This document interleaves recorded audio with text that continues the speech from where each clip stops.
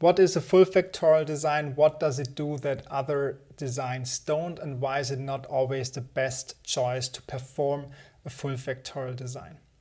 I'm also going to show you how to create a simple full factorial design with ChatGPT, so stick with me to the end to find to find out. First of all, what is a full factorial design? A full factorial design is a type of experimental design that is, that is used in design of experiments, DOE. It combines each factor at each level with every other factor and level to test their individual and combined effects on the response variable. And that's very important that it tests their individual effect, but also the combined effect. So you'll be able to estimate or see interactions between different factors.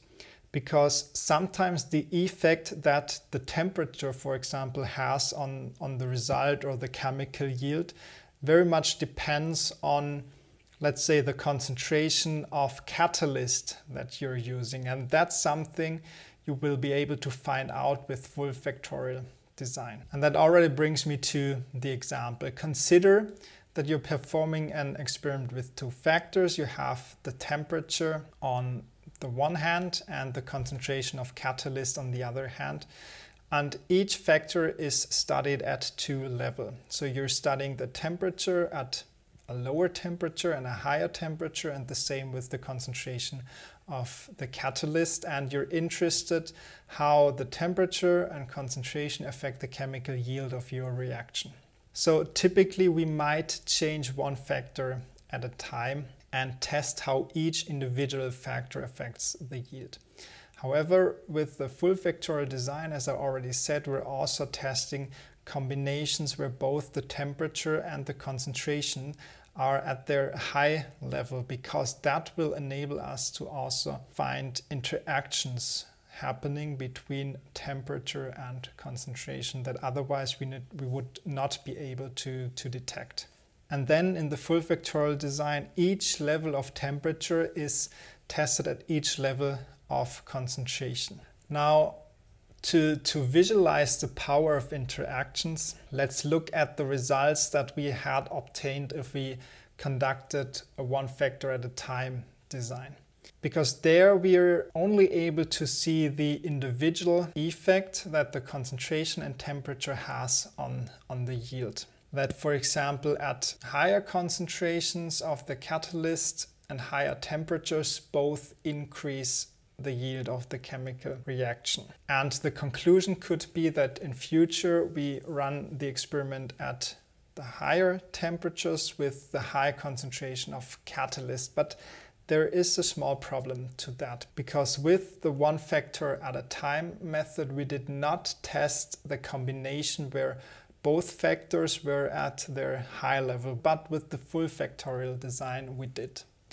And there we see that there is indeed an interaction between temperature and concentration, which means that the effect of concentration depends on the temperature. Because at 100 degrees, the increase in concentration positively influences the yield. But at the high temperature, the increase in concentration negatively affects the yield, actually decreases the yield. And this is why a full factorial design is so powerful or more powerful than the one factor at a time measure because the full factorial design is able to capture interactions uh, like, like that. And such interactions, they occur frequently in experiments. And it's very, very important to understand them because it will empower you to achieve better outcomes. But a full factorial design also has its limitations because the number of runs increases exponentially with the numbers of factors and levels. For example, a two-level full factorial design with two factors requires four experiments, three factors, eight experiments, four factors, 16, five factors, 32, and so on. Now, if you would also test or include more than two levels, let's say three levels for each individual factor, then very, very fast the number of, of runs, like it, it explodes and it becomes really large, which makes it very impractical for a large number of factors or a large number of levels. And that's why there are also other design types that you can use for screening experiments that you perform before you're performing an, a full factorial design to reduce the number of, of factors in your uh, experiment. But now let's head over to ChatGPT and I'm going to show you how you can create a simple full factorial design with ChatGPT. And you just need to click the link in the video description to, to follow along. And this is the GPT that I have created and it's pretty simple to start. You just click here right into the middle, help me to create a two level full factorial design.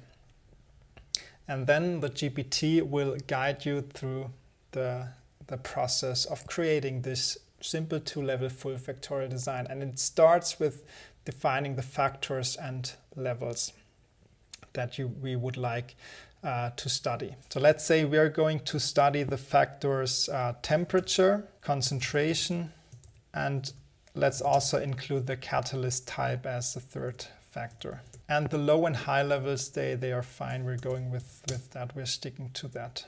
Now in step two, it'll ask you to it, it'll ask you for the number of, of runs, but that's really determined by the experimental plan. So in this case, we're going to use two to the power of three experimental runs, so that's eight. Apparently it was a test if we if you followed the, the previous part of, of the video. And now in step three, GPT has created the eight runs that are required and is now asking for the response variable that we're interested in, and that's the yield. You can use the yield. Of course, you can use any other uh, response variable that you would like. And that's how you can create a simple full factorial design with ChatGPT or with the GPT that I've created here. Now you can also continue the steps here. Maybe you want to, if you have created your own experimental design, you can upload it here and you, you could let ChatGPT help you with, with the analysis.